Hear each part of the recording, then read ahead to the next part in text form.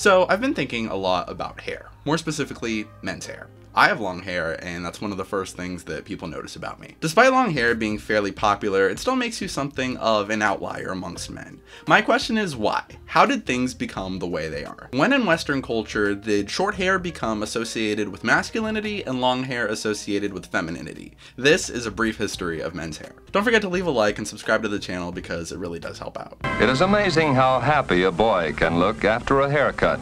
Believe it or not, during the Stone Age, human beings were not too big on grooming. During the Ice Age, however, water vapor from men's mouths would end up in their beard and cause frostbite. To avoid this, we began using sharp rocks and shells to cut off the longer parts of our hair. Fast forward to ancient Egypt, where they were big on haircuts and hygiene. Soon, the practice would even spread to ancient Rome and Greece. While we might picture ancient Greek philosophers with long hair and beards, their hair was still considerably shorter than the hair of the women of their time. In an interview with the BBC, former editor of the Hairdresser's Journal, Rachel Gibson, said that people have been styling their hair since time began, for the same reasons that we do today practicality, decoration, tradition, or customs, and to show allegiance or involvement in a particular group or part of society. Hairstyles signify a huge amount. In an interview with Time magazine, Kurt Stenn, author of Hair, A Human History, says, In order to have long hair, you have to be healthy.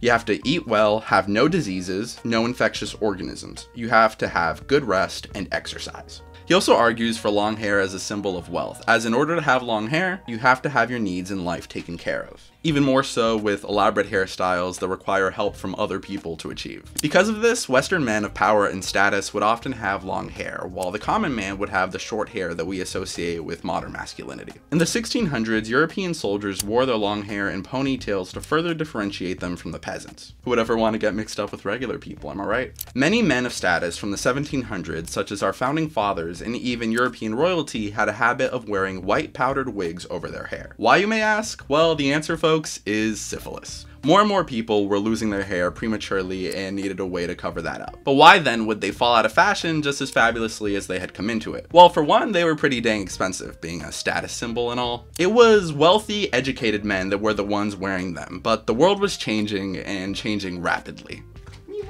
Mila wanted to be in the video, so here she is. With the age of enlightenment in full swing and the common man getting more and more attention, there wasn't a lot of love for wealthy elites. Soon enough, the wigs in France would find themselves on the wrong end of a guillotine, and we all know how that went. In the 1800s, a lot of men wore their hair in a sort of middle ground. Not too long, but not too short either. During this time, we can see an explosion of facial hair, with beards, mustaches, and sideburns becoming a lot more popular, some of which are quite funny.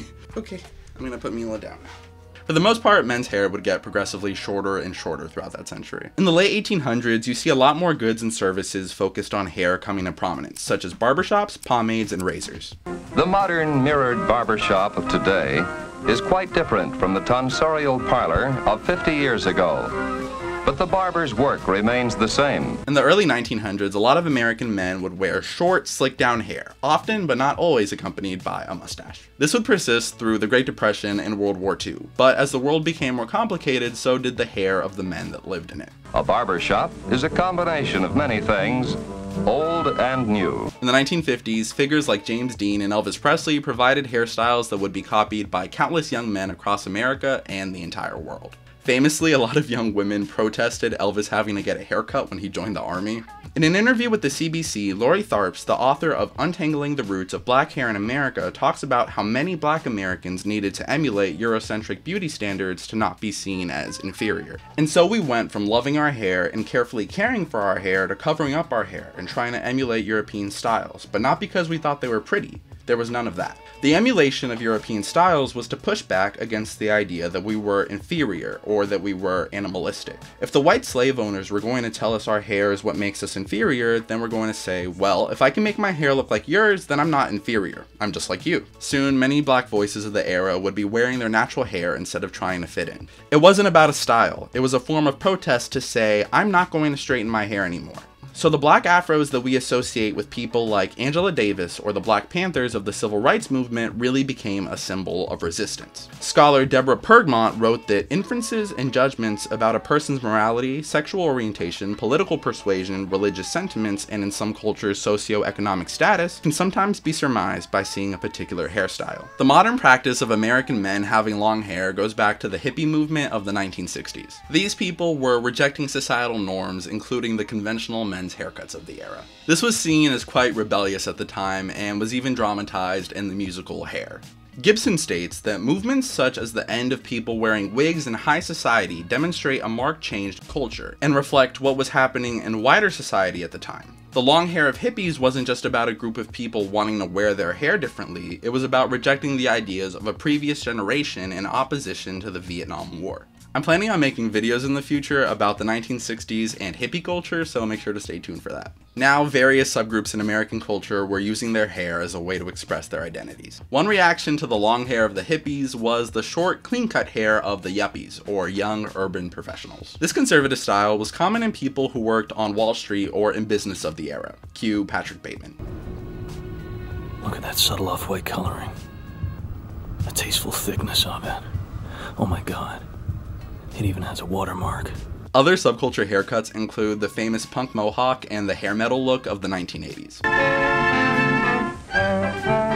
Men are no more without vanity than women. Now it seems like we're at a place where people can do more with their hair than ever before. I see countless men dyeing their hair and wearing pretty unconventional haircuts, which is pretty cool considering how long it took to get here. I remember watching Disney Channel as a kid and really wanting hair like what I saw on TV. A lot of the hair that I liked was long hair, some of which is easy to look back at right now and cringe, but hey, what are you gonna do? Mila, let's stop scratching the curtain. Come on, you got moved. For one reason or another, I just never grew my hair out when I was younger, and I honestly regret that. I believe the last short haircut that I ever got was right before my high school prom. For about a year before that, every time that I got a haircut, I would ask them to leave it a little longer and a little longer just because that's something I had never really done up to that point. The growing out could be pretty awkward at times, and my parents were always telling me to go get a haircut, but here we are. Something I've experienced as a guy with long hair is that a certain genre of older man will come up to me and be like, brah, you need to get a haircut, brah, which has always just stricken me as really odd. I mean, do I? I like to think I keep my hair pretty well maintained, but to each their own. Short hair, of course, is still the norm, but hey, do whatever you want. I shouldn't do that. I did that once to try to dry my hair and I almost passed out. My question is, what hairstyle do you have? Do you get weird comments on it? And what's the weirdest thing you've ever done with your hair? Thank you for watching. Don't forget to like and subscribe if you enjoyed the video, and enjoy the rest of your day.